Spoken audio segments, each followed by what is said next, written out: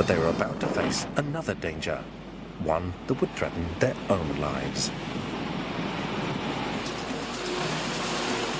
The 25th of November 1995 was the 30th day of dredging for the Øresund link. Digging up the 7 million cubic meters of seabed seemed to be a fairly straightforward assignment, and the crew thought everything was going smoothly. But dredging had just become the most dangerous part of the entire project. Workers didn't know it, but they were just centimeters away from death. The problem started when the Chicago accidentally scooped up a dangerous payload, a bomb that was ready to explode. It then dumped it onto a barge covered in mud. Nobody knew it was there. If anything had bumped its detonator, 36 kilograms of TNT would have blasted the barge and crew to pieces. How it ended up here is a story that dates back 60 years. In May 1945, Denmark was celebrating the end of World War II. The British Royal Air Force put on an air show over Copenhagen harbour with live bombs. Some sank without exploding, and now, six decades later, they're more deadly than ever. Even though the bomb is maybe 50, 60 years old, it can still work as designed. So that's why it's dangerous, always. If the bomb has gone through some corrosion and there has been some deterioration of the explosives, it may have become even more sensitive, and in that case, even more dangerous. Equipment inched closer to the bomb. Then, just in time, someone on the dredging team spotted it. The Royal Danish Navy was called in to remove, defuse and explode the bomb.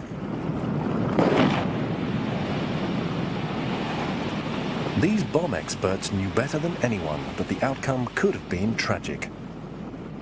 If they hit the bomb with their dredgers or with their buckets or whatever, and uh, it went off, somebody had been killed. It was a narrow escape for the crew and the schedule. With the bombs gone, dredging resumed. But the relief was short-lived. Soon, more bombs were discovered.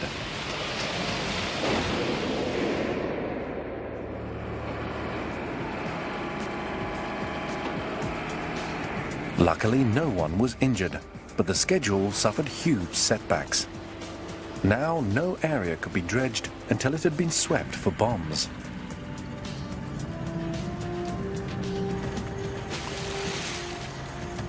All 16 were removed and destroyed.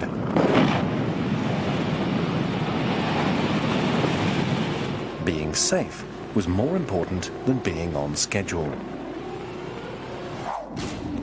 Long before the bombs had been discovered, and even before a dredger had dipped its first bucket, the Øresund engineers knew they faced a unique set of very difficult challenges here. The water separating Denmark from Sweden was 16 kilometers across, but the cultural gap between the nations was much larger.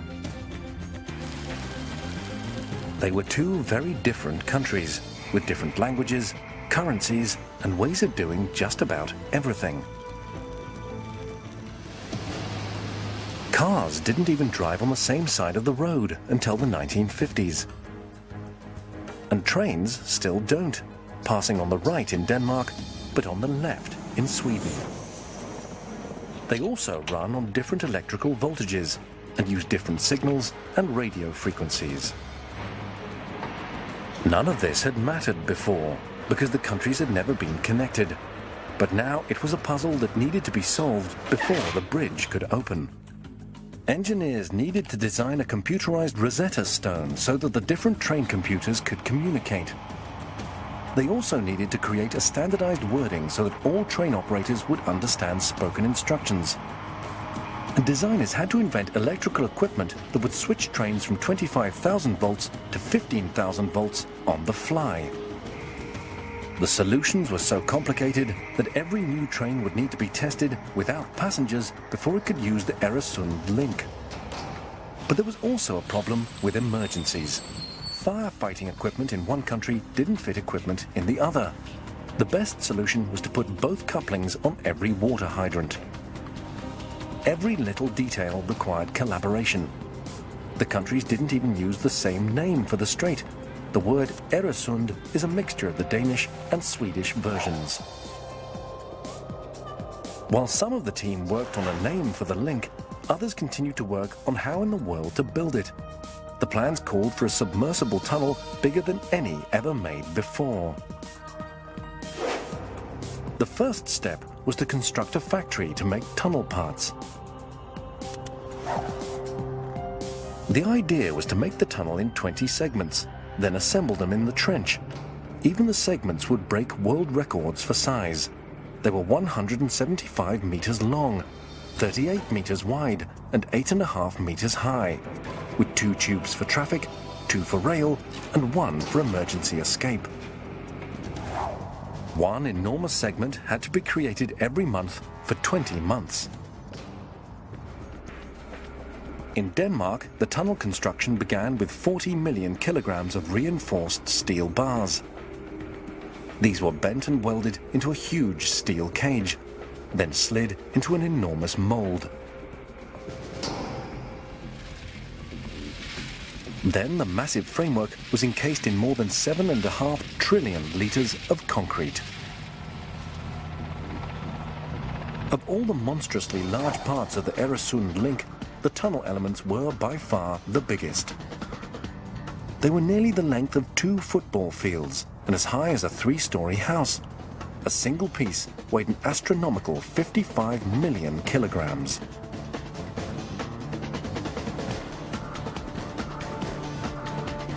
Moving them was an enormous and dangerous challenge, one that triggered the most catastrophic accident of the entire project.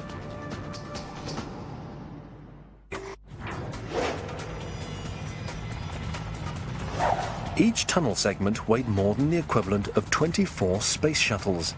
Between them, they contained enough concrete to build a pavement around the Earth twice.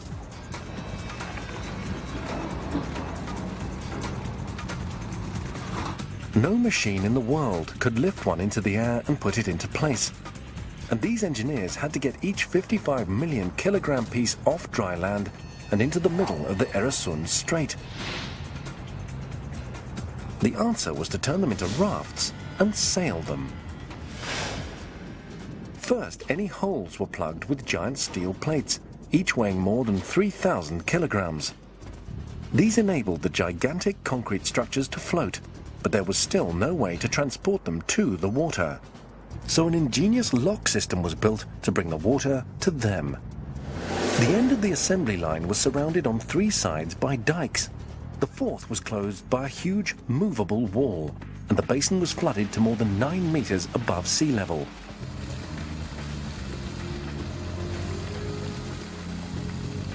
It took 100 million liters of water.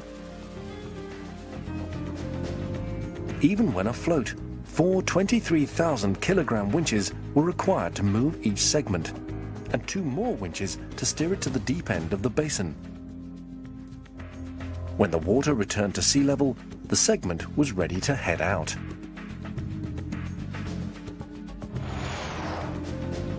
Then, when it was over the trench, there was a new challenge sinking it. Forcing a raft this big underwater was not an easy task. The trick they used was ballast.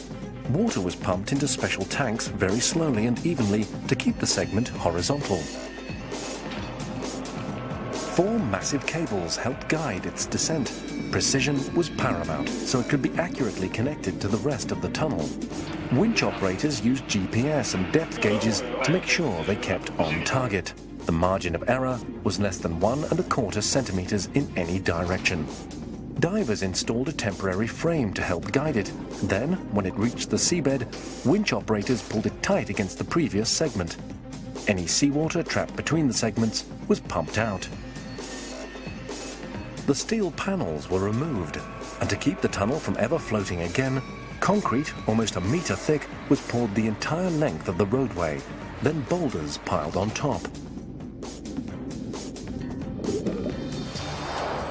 The system worked flawlessly for the first 12 tunnel segments, but the 13th still got special handling. It was officially numbered 12A for superstitious reasons, but unfortunately renaming it wasn't enough. On Tuesday, the 4th of August 1998, wind and current conditions in the channel were perfect.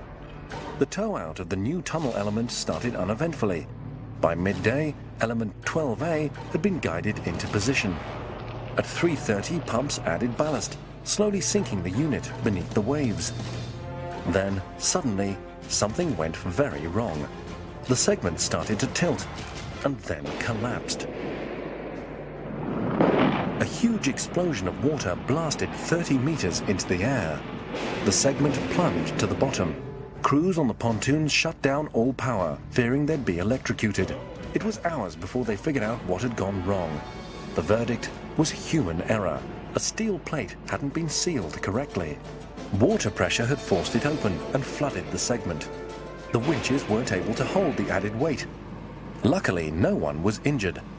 But what about tunnel segment 12A? Extensive testing confirmed it was still usable, but valuable time had been lost. Øresund's builders could have chosen a different method to build their tunnel. They could have bored a tube under the seabed. This is what Denmark did two hours away from Copenhagen, where rail and road needed to cross a channel called the Great Belt. This was the site of a disaster far worse than the Øresunds. To dig the two train tunnels, they brought in four enormous boring machines, each 90 meters long. The front end is a drilling head weighing over 100 million kilograms and measuring 7 meters across. The cutting head chews up soil and boulders. An auger shuttles the ground bits to a conveyor belt, and they're eventually dumped on a small train. As each tunnel boring machine worked its way underground, it also installed pre-made wall segments, 62,000 of them. The problem with boring was that the ground could be unpredictable, and this was how disaster struck the Great Belt. A boring machine hit a water pocket. At first, water began to drip in. Then it started to pour. A special safety hatch should have contained the flood, but it had been left open. Water flooded one tunnel, crossed through the emergency tunnels, and flooded the second. It took a year to get the project back on track.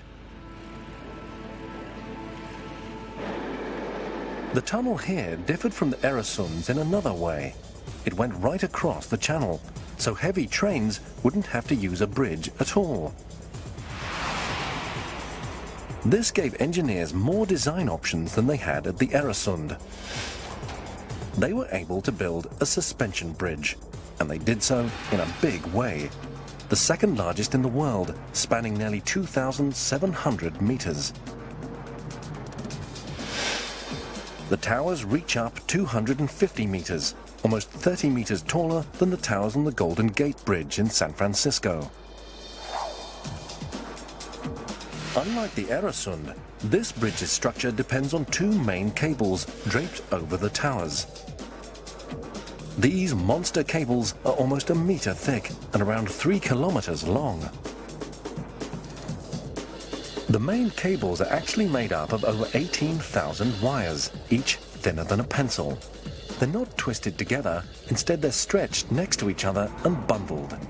The finished cables weigh over 9.5 million kilograms each. The trick to making a suspension bridge is anchoring each end of the cable. For the Great Belt Bridge,